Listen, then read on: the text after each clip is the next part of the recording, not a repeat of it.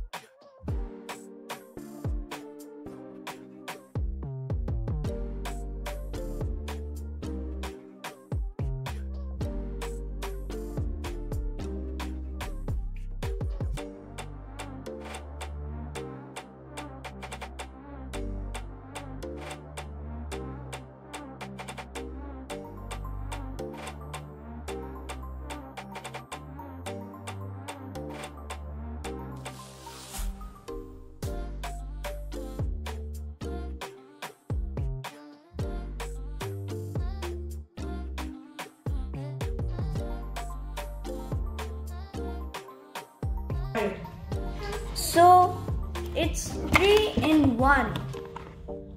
The, and uh, I finished all of it.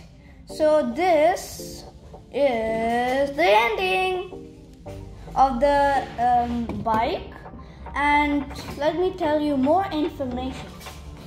So this is three in one, as I said in the at the first part.